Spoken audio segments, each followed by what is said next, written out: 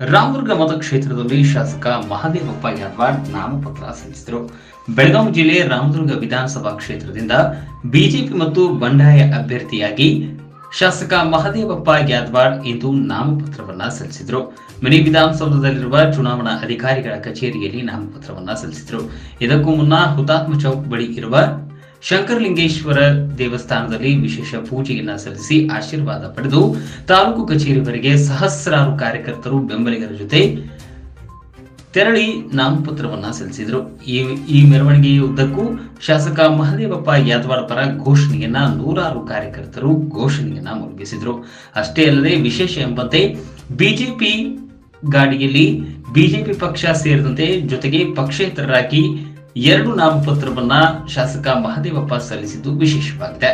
ಇನ್ನುವರೆಗೆ ನನಗೆ ಪಕ್ಷ B form ನೀಡಲಿದೆ ಅನ್ನೋ ವಿಶ್ವಾಸ ನನಗಿದೆ. ಈ ನಿಟ್ಟಿನಲ್ಲಿ ಭಾಜಪಾ ಪಕ್ಷದಿಂದ ಒಂದು ಮತ್ತು ಪಕ್ಷೇತರರಾಗಿ ಎರಡು ನಾಮಪತ್ರವನ್ನ ಸಲ್ಲಿಸಿದ್ದೇನೆ ಎಂದು ತಿಳಿಸಿದರು. ನನ್ನ ಅಭಿಮಾನಿ ತಾಲೂಕಿನ ಅಭಿಮಾನಿ ಬಳಗದ ಏಳನೇ ತಾರೀಕು ತಾರೀಕಿಗೆ ನಾಮಿನೇಷನ್ ಮಾಡಬೇಕಂತ ಕೇಶ.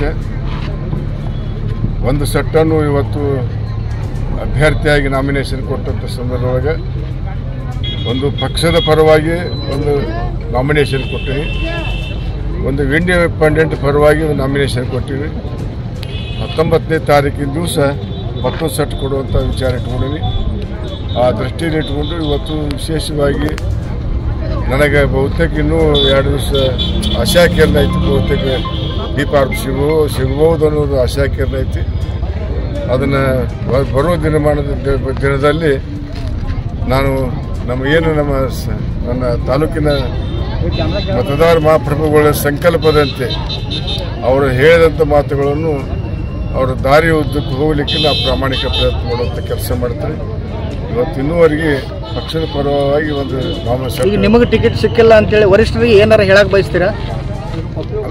ನೀವು ಹೇಳುದ ಇನ್ನ ಕೊಡ್ಬೋದಂತ. ಇನ್ನೂ ಭರವಸೆ ಇದೆಯಾ ನಿಮಗೆ? ಭರವಸೆ ಐತಿ. ಅದು ಈಗ ಯಾಕೆ ನಾವು ಹೇಳೋದು ಅದನ್ನ? ಇನ್ನೂ ಭರವಸೆ ಐತಿ. ಆ ಭರವಸೆ ಈಡೇರ್ತದೆ ನಮಗೆ ಭಗವಂತ